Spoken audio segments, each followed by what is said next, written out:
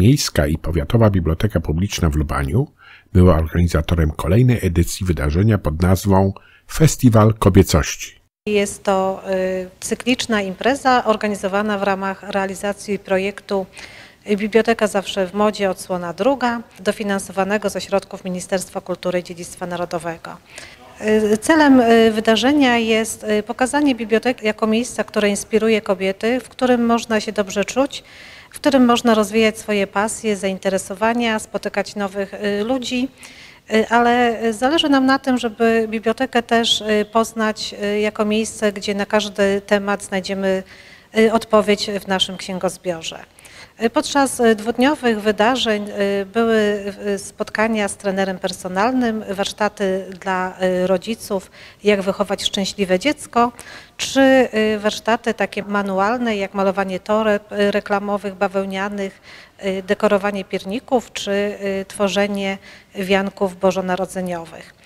Ciekawym działaniem w trakcie tego festiwalu było spotkanie ze specjalistą od y, włosów, która w bardzo interesujący sposób opowiedziała, jak mamy dbać o zdrowie y, głowy i y, też jak ważna jest dieta w codziennym życiu. Cieszy nas, że takie wydarzenia mogą odbywać się w bibliotece i prezentować ją jako miejsce integrujące społeczność lokalną.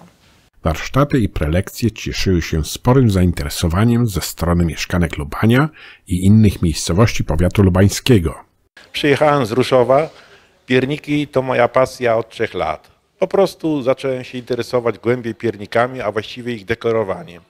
I to pochłania mi mnóstwo czasu, ale daje mi wiele satysfakcji i radości. No dzisiaj jestem tutaj w Lubaniu, żeby pokazać paniom, jak się dekoruje pierniczki, jakie są sposoby po prostu, żeby było ciekawie, jak się y, piecze.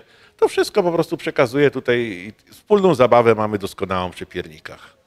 Robię y, kwiaty ręcznie z papieru i wykonuję z nich strojki.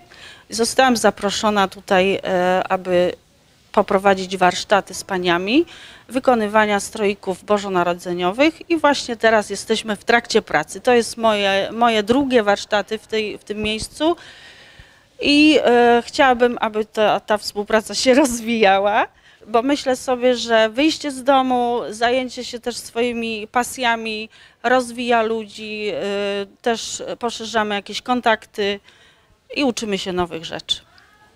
W festiwalowych warsztatach wziął udział radna Sejmiku Województwa Dolnośląskiego Teresa Zembik. Bardzo się cieszę, że dzisiaj akurat też mogę brać udział w zajęciach, gdzie uczymy się e, robić strojki bożonarodzeniowe. Pani nam bardzo ładnie wytłumaczyła, na czym to polega, w jaki sposób ona to robi. Strojki wyszły przepiękne. Kolejna czwarta edycja festiwalu odbędzie się w listopadzie przyszłego roku.